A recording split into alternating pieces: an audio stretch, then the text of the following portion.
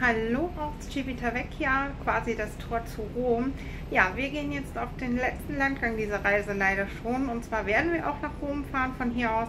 Ähm, wir nehmen den Zug. Das ist zwar eine etwas weite Reise so gesehen, also knapp eine Stunde ist man da nochmal extra unterwegs, beziehungsweise noch ein bisschen länger muss ja auch eben noch zum Bahnhof.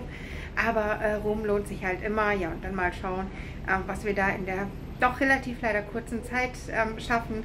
Wir waren ja schon ähm, mal mit dem Kreuzfahrtschiff hier in Civitavecchia.